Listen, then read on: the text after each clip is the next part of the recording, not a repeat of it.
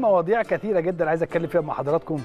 ولكن آه، أهم هذه المواضيع من وجهة نظري يا عبد الرحمن ما حدث مع النادي الأهلي؟ هنتكلم عن ماتش سيمبا وهنتكلم عن فنيات بالمناسبة الجزء الثاني من هذه الحلقة هيكون معانا النجم الكبير كابتن ربيع ياسين. كابتن ربيع ياسين هنتكلم معاه فيما يخص آه، النواحي الفنية في كل المباريات اللي فاتت واللي جاية ومنتخب مصر وكلام كتير من هذا القبيل. ولكن موضوع التحكيم بالنسبة لي يمثل لغز كبير جدا جدا آه، ويثير جدل كبير جدا رغم إشادة الجميع الحقيقة آه، بأداء الأطقم الحكام المصرية في نهايات كأس الأمم الإفريقية الحقيقة. ولكن مع عودة الدوري آه، بدأ الجدال مرة أخرى.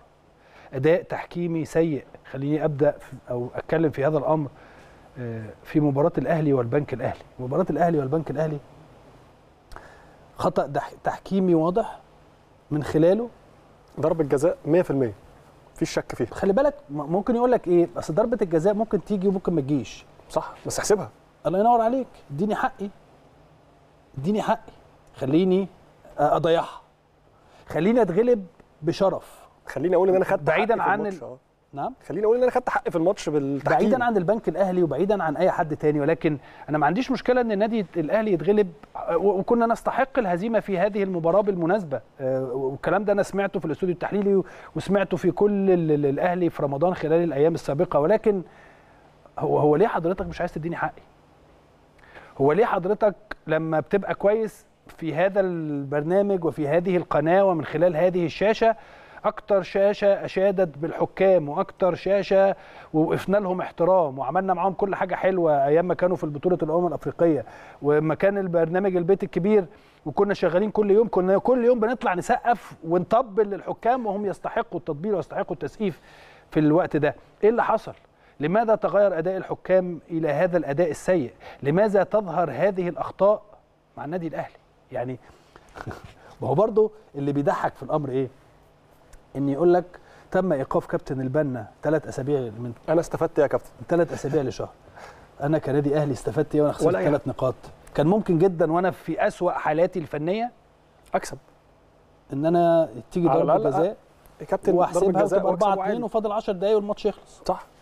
فيعني أنا الحقيقة مش عارف هو ليه لجنة الحكام تطلع تقول لك يعني أو بيسربوا. هم مش عايزين يقولوا. هم بيسربوا أن تم إيقاف الكابتن آه، البنا لمدة ثلاث أسابيع وكابتن محمود الحنفي أو كابتن محمد الحنفي آه، آه، مدة أطول. آه، لأنه بالنسبة لي كابتن محمد الحنفي هو المخطئ الأبرز والأكبر في هذا الأمر. لأنه كان يجب عليه إن هو يقول للحكم إن ال- الكرة دي ركلة جزاء وتعالى بص عليها والحكم ياخد قرار. صح. على الأقل يديله تشيك فار يعني إيه، على الأقل يقول له في خلاف أو في حاجة تستاهل إنك تبص في الفار يعني. دي حاجة. الحاجة الثانية كابتن غريب في الأمر بقى تصريحات كابتن محمد فاروق نائب رئيس لجنة التحكيم. التصريحات غريبة جدا. إيه علاقة الأوفسايد؟ أنا. مش فاهم الموضوع. يعني هو إحنا بنختلف على ضربة جزاء. إيه لا إحنا بنقول إحنا أوفسايد دلوقتي. أصل الكورة من أول أوفسايد. اولا الجدال واضح في الفار على ضربة جزاء. خلاص الموضوع منتهي.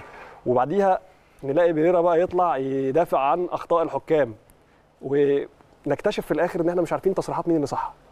كابتن محمد فاروق ولا بيريرا رئيس لجنة الحكام. وبعدين إحنا عندنا ده تاني رئيس لجنة حكام أجنبي. نفس الخلافات. المصري ليه طريقة والأجنبي ليه طريقة تانية. أنا فاكر رئيس لجنة الحكام اللي فات كان عايز يعرض الفيديوهات بتاعة الفار على ال social media. تقريبا يعني تقريبا. دي أكتر حاجة وقفوا قصاده فيها. مش عارف ليه.